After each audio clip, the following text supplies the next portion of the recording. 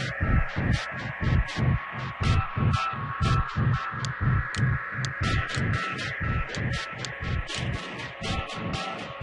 you.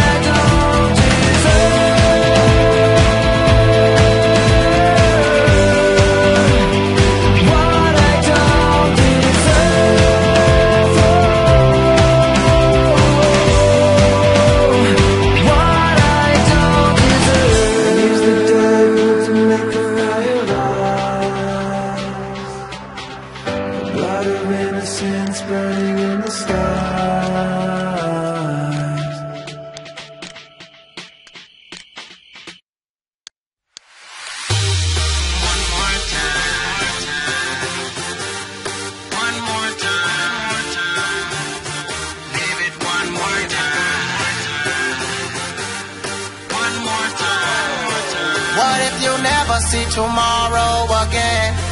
And this the last party that you attend?